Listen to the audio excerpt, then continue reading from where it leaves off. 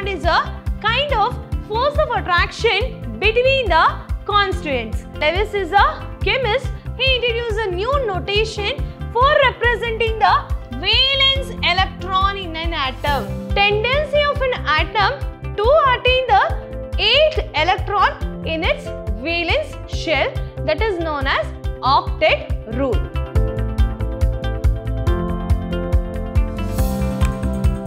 Hello my dear students, a warm welcome you all. Myself is Poornima, lecturer in Department of Chemistry at Vidhyaashram Pre-University College, Temple of Excellence, Mysuru.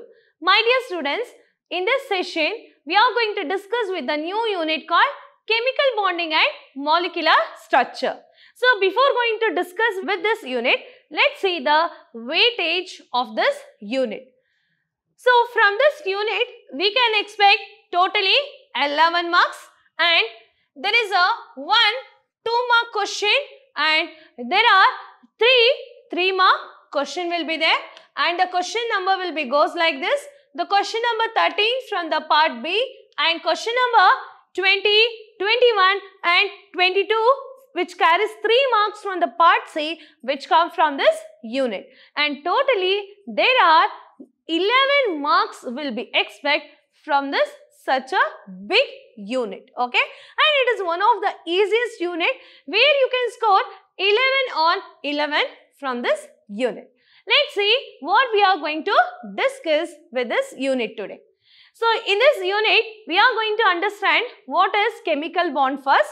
Later we are going to understand the Kossel lewis dot structure and approaches to the chemical bonding. And later we are going to understand the types of chemical bond. In that we are going to discuss more about the covalent bond and we are going to understand the Lewis representation of simple molecule and we are going to understand the formal charge calculation and lastly we are going to discuss with the limitation of octet rule. So firstly, I'll go with the chemical bond. So we already know that chemical bond is a kind of force of attraction between the constituents. It may be atom or it may be molecule or it may be ions. So when there this force of attraction which is, exists between any two atoms, you know, it results in a formation of chemical bond. Okay. So it is attractive forces which holds the various constraints together in a different chemical species. It is known as what? Chemical bond. And there are uh, root causes for the chemical bonding. The first root is the tendency or a urge of an atom or various element to attain the stable electronic configuration. So, it is nothing but a urge which has been created in each atom which is present in an element to obtain the stable electronic configuration. What does it mean? We know that every atom must likely to possess 8 electron in its outermost shell. So that was a first reason to form a chemical bond. And the next reason is the tendency of an atom to form stable molecule specially which is attained by losing of energy. So when they attain the stable electronic configuration, always it will be caused due to the losing of energy. These two are the main routes for causing the chemical bond between any two atoms or any two ions or between any two molecule. So hope you all understood with the definition now. Now let us see the Kossel Lewis approaches to the chemical bonding. Okay. The Lewis is one of the scientists he postulated that the atom achieve the stable octet when they are likely to be the chemical bond. So remember in the Lewis symbol we have understood that Lewis is a chemist. He introduced a new notation for representing the valence electron in an atom. What does that valence electron stands here? Valence electrons are nothing but a number of electron which is present in its outermost shell. Okay. Suppose if I take the example of hydrogen, We know that the hydrogen has a electronic configuration of 1s1 where it consists of only one electron in its outermost shell. Hence, if you write hydrogen with one dot which indicates that there are only one electron which is present in its valency shell and this is a valency of hydrogen. Similarly, you can write for the helium where the electronic configuration will be 1s2. In the last orbital, you can see that there are two electrons will be there. Hence, we have written 2 dot. So, this is a, a Lewis approach to write the valence electron which is present in each atom and it was first discovered by a Lewis chemist. Okay. Next, you can take the example of lithium. How many electrons will be there in the lithium? 3. And electronic configuration will be 1s1, 1s2, it is 2s1. Is it right? So, in s orbital, there are only one electron will become unpaired and that is a only one valence electrons will be there.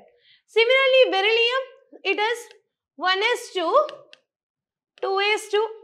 So, this is the last shell where it has 2 electron. Similarly, boron which has how many electron? 3 electron you can see that 1s2,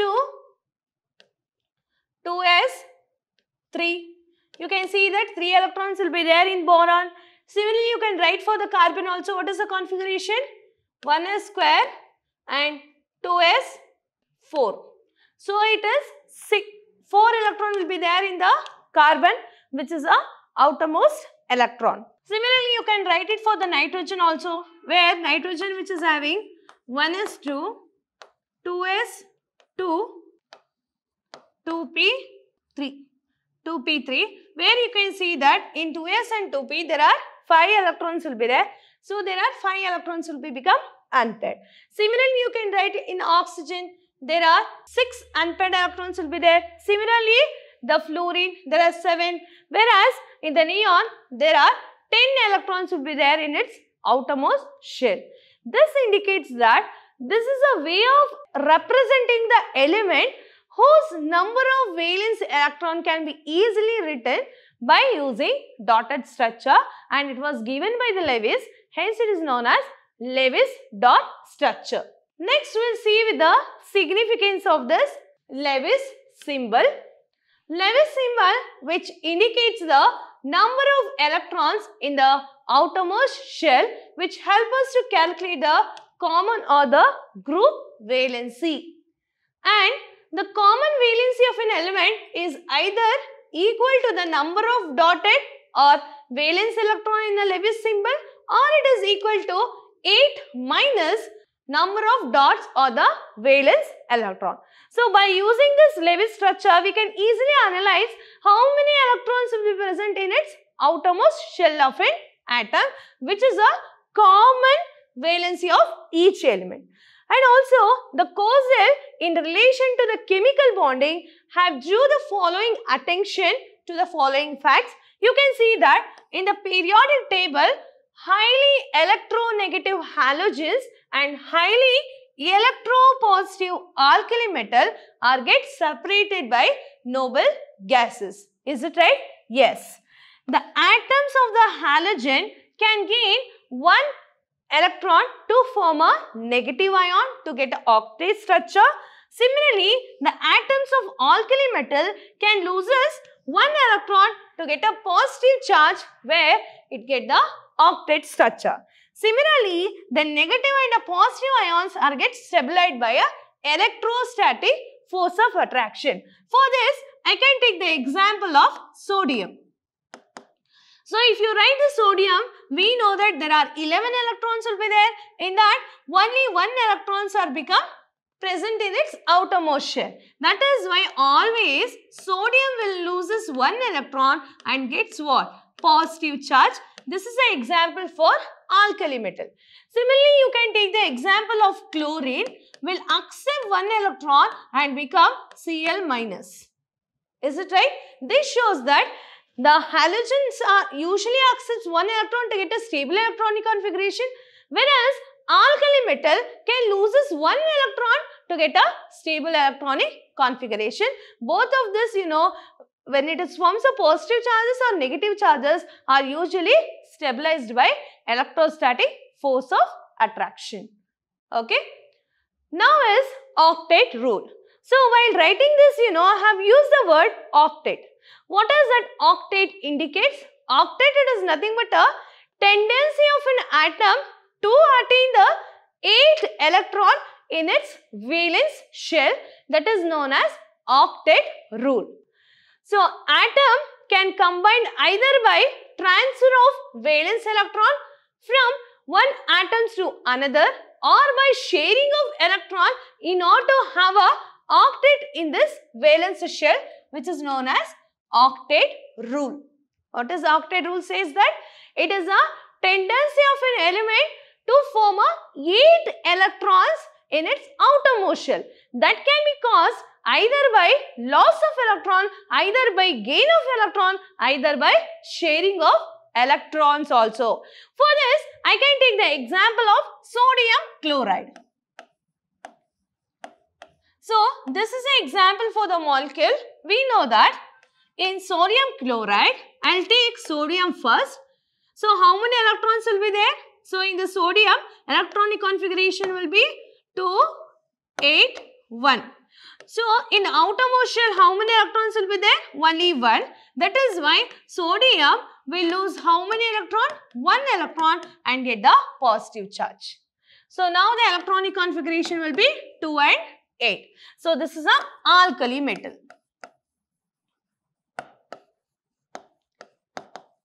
You can write the halogen now. That is chlorine having a 17 electron. Okay. So, in order to get a stable electronic configuration which accept one electron which is given from the sodium and become Cl minus and it got 2, 8 and 8. You can see that the alkali metal, it loses how many electron? One electron to get a stable electronic configuration of 8. In its outermost shell, every atom likely to have a 8 electrons in its valence shell. That was explained by octet rule. Similarly, you can see that the chlorine, even though it has a 8 electron, it requires one more electron to get a another stable electronic configuration.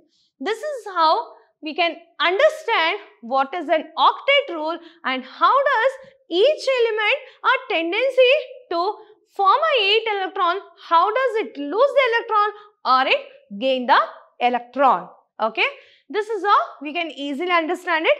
You can take one more example of magnesium chloride. So, in magnesium chloride, you can see that the magnesium is having how many electron? 2, 8 and 2. There are 12 electrons will be there. So, it loses how many electrons here?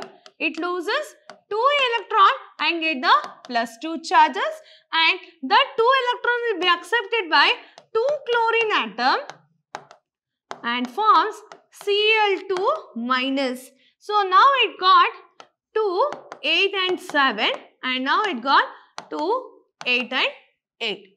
This is how each element can loses its electron or one of the element can accept one more electron stable electronic configuration that was explained by octet rule. Okay. Hope you understood with this concept. Next we'll see types of chemical bond. So there are of four different bonds will be there. First one is covalent bond, then ionic bond and coordinate bond and we can say hydrogen bond. Okay. These are the four types of chemical bond. Which are those? Covalent bond, hydrogen bond, ionic bond and coordinate bond. More about the covalent bond we'll discuss now. Always remember the covalent bonds are formed between any two atoms by mutual sharing of its electron. Either the atom will be same or atom will be different. And remember, this covalent bonds also, it may be a single covalent bond or double or triple also. So, what is a covalent bond now? Covalent bonds are the bonds which is formed by what? Mutual sharing of its electron between the two atoms. So, A covalent bond is a force which binds the atoms of the same or the different element by what? Mutual sharing of electron. Okay. Let's see what is a single covalent bond. When two atoms are shares one pair of electron, they are said to be joined by single covalent bond. Here I have an example of single covalent bond as well as the double covalent bond. You can see that I have taken out the example of chloride molecule. So we know that each chlorine molecule, it has how many electrons in its valence shell? It consists of 7 electron. So 2 plus 2, 6 and it is 7. So it will share how many electron? 1, 1 electron. Is it right? So it will share 1, 1 electron to get a stable electronic configuration of 8. So how much it's sharing its electron? So 1, 1 electron will be shared from the 2 chlorine atom. Hence it forms what? Single covalent bond between the two chlorine atom. Similarly, you can take another example of water molecule where you can see that the oxygen which has 6 electron. Is it right? In that it will share only one electron with the hydrogen and one electron with the another hydrogen atom where it attains the stable electronic configuration and each hydrogen atom which also gets the two electron because it shares its one electron. Okay. So that it gains what? Stable electronic configuration and it is a doublet. Similarly, you can take the example of CCl4. In CCl4, you can see that there are 4 chlorine atom will be there and you can see that each chlorine atom will share how many electron? It will share what? It will share 1 1 electron to form a stable electronic configuration of 8. Hence, it forms a single covalent bond. This is how the single covalent bonds are formed by sharing of one pairs of electron between the two atoms. Hence, it is known as single covalent bond. Similarly, you can see with the example of double covalent bond. So, if two atoms that shares two pairs of electron, the valence bonds between them, they are known as covalent bond or covalent double bond. You can take the example of carbon dioxide for this. You can see that the carbon is having 4 electron in its outermost shell. Similarly, the oxygen has 6 electron. So, that is why the carbon will share 2 electron, oxygen will share 2 electron. Similarly, another side oxygen will share 2 electron, carbon will share 2 electron to get a stable electronic configuration what? 8 electron. Hence, we write the structure as COOO where it exists a 2 double bond. You can see that in ethene molecule also that is in a ethene you can say that each carbon atom which is having 4 electron in its outermost shell. In the first step you know each carbon atom will share 2 2 electron to form a double bond. Remaining 2 electron will be shared with 1 1 hydrogen atom and to get a structure of carbon carbon double bond and it will be written as CH2 double bond CH2. Okay. This is how by mutually each atoms you know it will share its electron to form a covalent bond. Next we'll see the example of triple bond also where the two different atoms will share three pairs of electron to form a triple bond. You can see here that is in a nitrogen molecule each nitrogen which has a 5 electron in its outermost shell. So, the 3 electron will be shared from one nitrogen atom, another 3 electron will be shared by another nitrogen atom to get a stable electronic configuration of 8. Hence, we write 8, we write triple bond between the two nitrogen atom. Is it right? And these two are the lone pair of electron. Similarly, if you take ethyne, so in case of ethyne, you can see that each carbon atom will share how many electron? 3 3 electron to form a triple bond. Remaining 1 1 electrons will be shared with hydrogen. Hence the structure will be CH triple bond CH. Like this, between the same atom, you know, you can see that they share 3 pairs of electron to form a 3 covalent bond. This is how single covalent bond double covalent bond and triple covalent bond will be formed between any three atoms or any two atoms. Next is Lewis representation of simple molecule. So for writing the Lewis structure of simple molecule, we have a following rules. So Lewis dot structure which provides a picture of bonding in a molecule and ions in the in terms of shared pairs of electrons and a octet rule. The Lewis dot structure will be writing or which can be written with the following step has to be followed. The first step says that the total number of electrons required for writing the structure are obtained by adding what? Valence electrons of combining atom. It is very very important. If any two atoms are combining, how many electrons will be involved in that bonding? That valence electrons will be involved. That has to be counted properly. And in the second step, for an anion which show the negative charge would mean that addition of one more electron. Similarly, for the cation, we have to show with the positive charge which indicates that that has been lost so one electron from its total number of valence electron.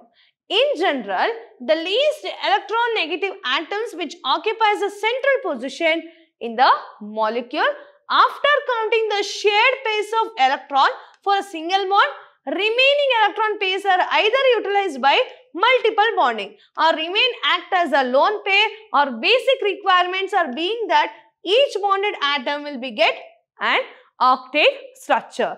So, one thing is while writing this octet structure by using Lewis dot structure, you know, we have to count the number of valence electrons which is involved in a bonding atoms, okay. And next thing is, suppose if we represent it as an anion or cation, we must know that anions are formed by gaining of an electron, cations are formed by loss of one electron, okay. And next thing is, you know, if it is highly electronegative, the central atom should be written first. And next is, if the atoms are sharing or if the atoms are formed by mutual sharing of single pairs of electron, then we say it is single covalent bond. If it is formed by two pairs of electron, we say it is double bond. Similarly, followed by triple bond. We will discuss with some of the example so that we will understand how this Lewis dot structure will be written by taking octet rule as a example. So here I have given the some of the molecules example where first one is hydrogen molecule. We know that each hydrogen atom which is having one electron. Is it right? So it will share one one electron to form a single covalent bond. Similarly, you can see that in oxygen molecule there are two oxygen atom will be there. It shares how many electron? Two pairs of electron to form what? Double bond between two oxygen atom.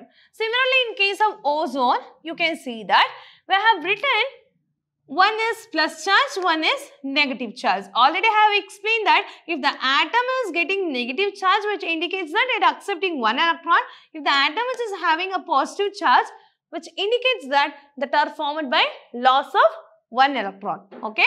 So, this is how we will write the Lewis dot structure of ozone molecule. Similarly, you can take the example of NF3 that is nitrogen which has been bonded with fluorine atom by sharing one one electron with the fluorine and the structure will be goes like this with the three single bond.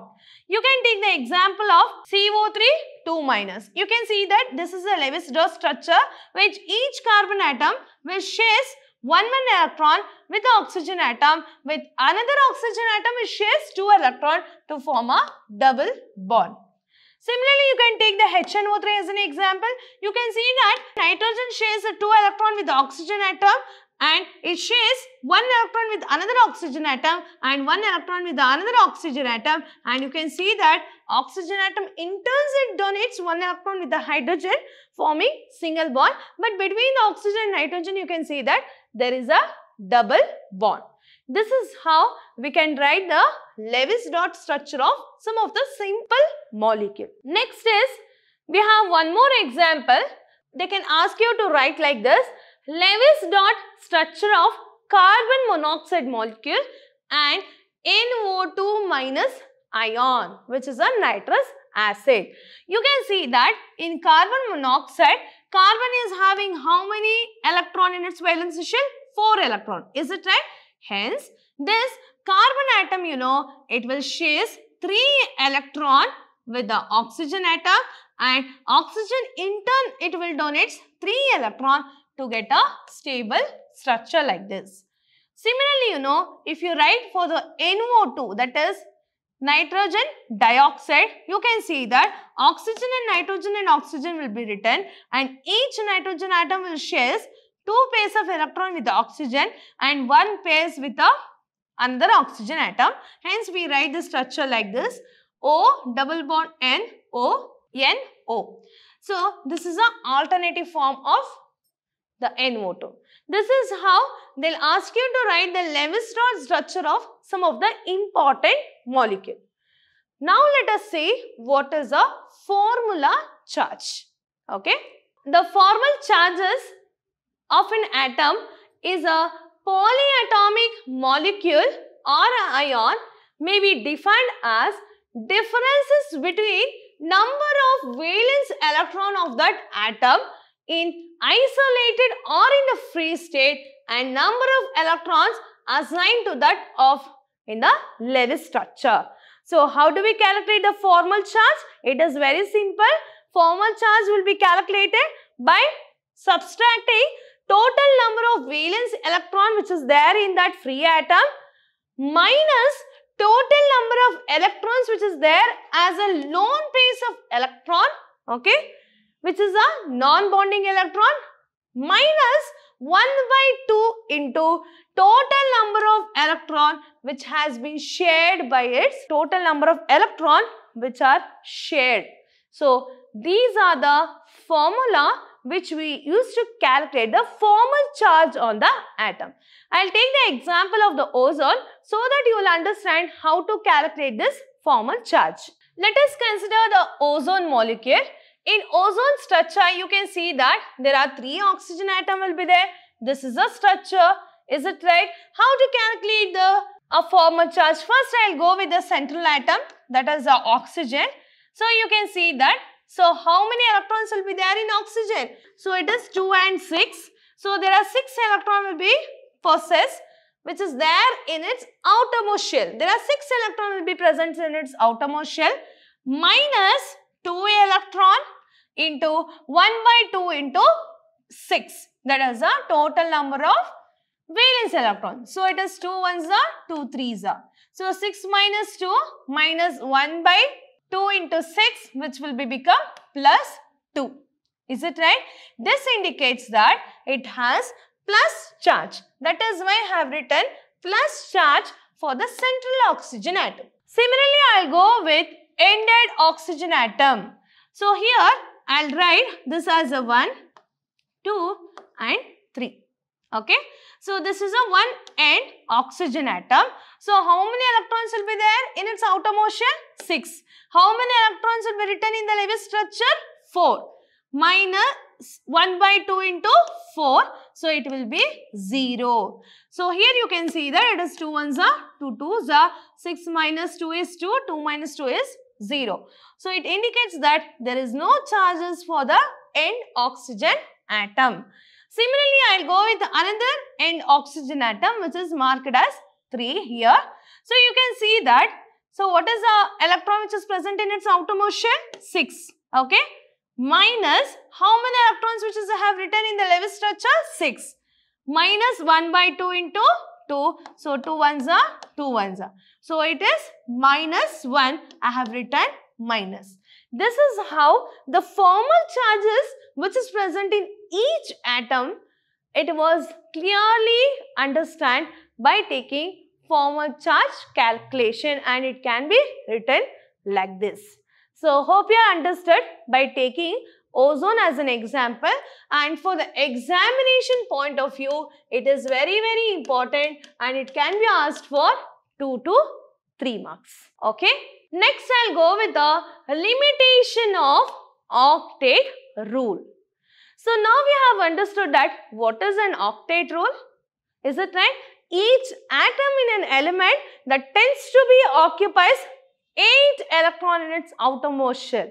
But not all the element will exhibit that octet rule. There are certain limitations will be there. We'll understand what are the limitations. Okay. The incomplete octet of central atom it is the first case. In some compounds, you know, the number of electron which is surrounded by the central atom is lesser than 8. For example, lithium chloride, beryllium hydride and beryllium boron chloride as an example. You can see that the lithium, you know, lithium is a central metal atom surrounded by chlorine atom. Is it right? Surrounded by chlorine atom. So here you can see that lithium has how many electron? Lithium has one electron in its outermost shell and whereas the chlorine has 7 electron in its outermost shell so that it will share one electron to form a stable electronic configuration. So this indicates that the incomplete octet structure in the central metal atom. You can take the example of HBr. So in the HBr as well as in Br, BCl3, you can see that the boron has how many electron? The boron has 3 electron in its outermost shell. So it is not a stable electronic configuration to attain the octet rule. Hence, this rule is not applicable to those elements which is act as a central metal atom and do not exhibit its 8 electron in its valence shell. And odd electron molecule. There are certain molecules which have odd number of electron like nitrous acid and nitrogen dioxide and these cases octet rule is not satisfied with the atom. You can see that the nitrogen atom has how many electrons? So there are 5 electrons will be there in its outermost shell and whereas in the oxygen atom how many electrons will be there? So there are 6 electrons will be there. So it is not forming the central atom which is not having the correct exact octet number of electron even though it possesses the odd number of electron as 7. So this is a case with the nitrous acids as well as in the nitrogen dioxide where nitrogen is exhibiting how many electron? 5 electron. That is why we write nitrogen as 7.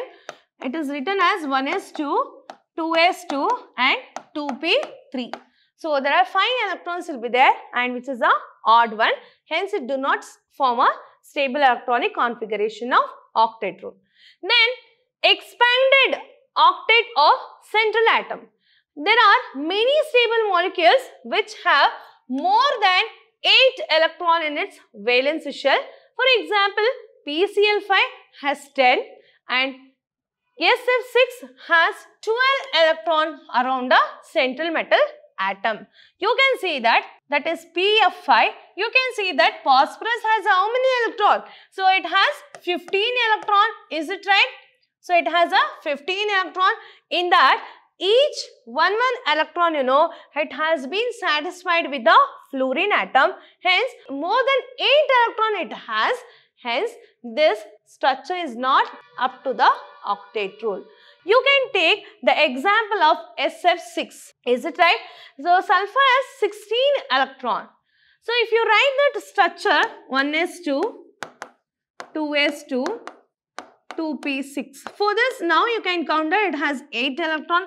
After that, 3s2 and 3p3 it is.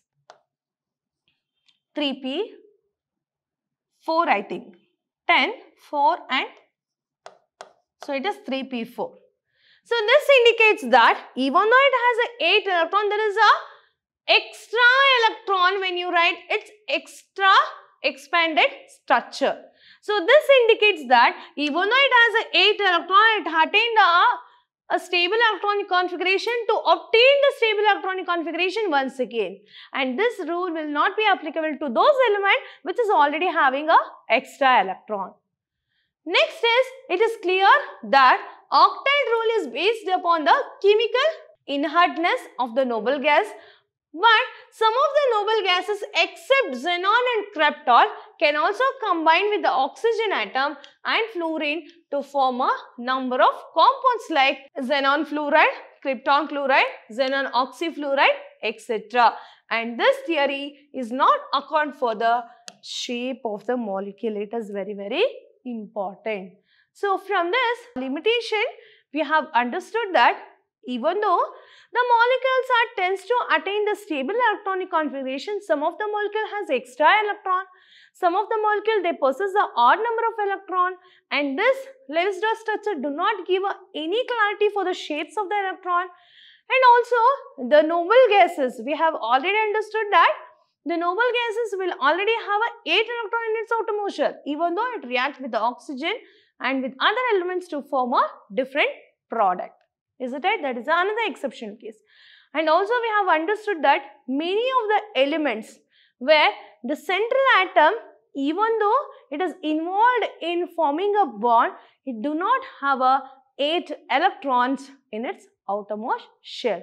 So these are the main limitations of octet rule and which is from the Lewis dot structure. So in the next class, we are going to understand more about the ionic bond. By this, I like to say that this is one of the easiest unit where you can score 11 on 11. Try to focus with the types of bond as well as with the octet rule which I have covered in this session. In the next session, I will go with the remaining topics. Till that, take care, be safe. Thank you.